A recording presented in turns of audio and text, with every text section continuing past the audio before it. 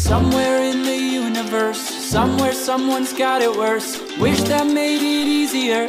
Wish I didn't feel the hurt. The world's smallest violin really needs an audience. So if I do not find somebody soon, I'll blow up into smithereens and spew my tiny symphony all up and down a city street while trying to put my mind at ease. Like finishing this melody, this feels like a necessity. So this could be the tenth of me, or maybe just a better me. Now come in with the timpanis and take a shot.